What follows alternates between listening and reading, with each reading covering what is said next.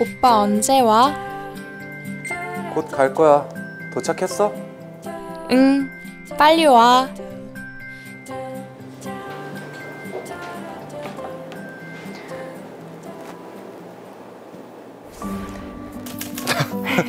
좋다. 그치? 어,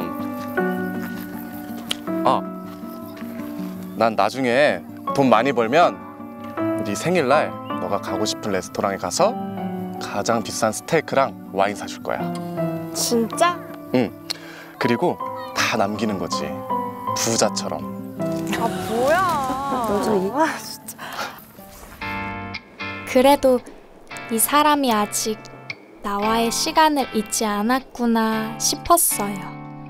아 바람 잡은 거 아니야? 안 와.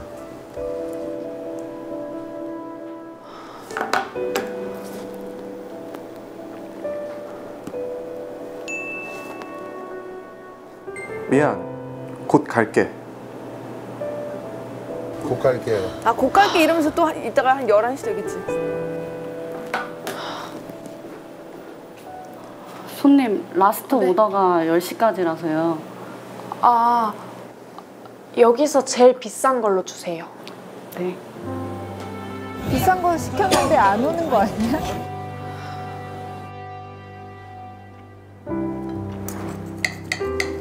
두 개 시켜. 아니 세 개 시켜. 열받았어. 뭐라 그래. 잘했네. 저건 잘했어요. 아, 뭐야. 근데 난 그런 거 필요 없는데. 그럼? 음, 그냥 오빠랑만 같이 있으면 최고의 생일이지.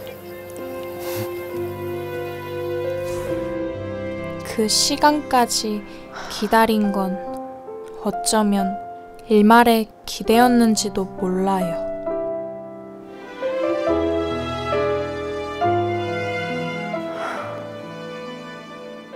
12시는 좀 심하다.